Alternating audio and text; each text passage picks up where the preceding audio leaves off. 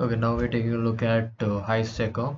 Students are asked to stand in non-descending order of heights for an annual photo. Return the minimum number of students that must move in order for all students to be standing in non-decreasing order of height. Notice that when a group of students is selected, they can reorder in any possible way between themselves and the non-selected students remain on their seats.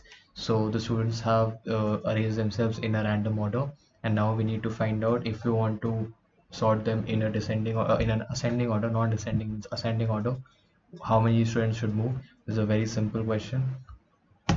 What we need to do is we need to create another vector.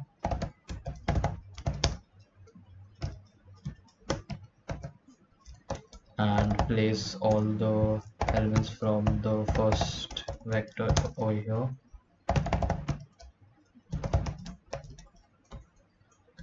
and now we will sort this vector.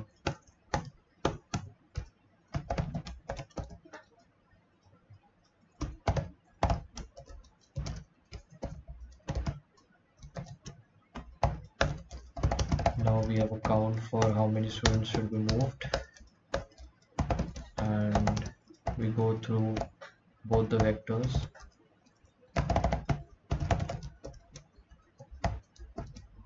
and we check how many elements are different in the sorted one when compared to the normal one or the random one.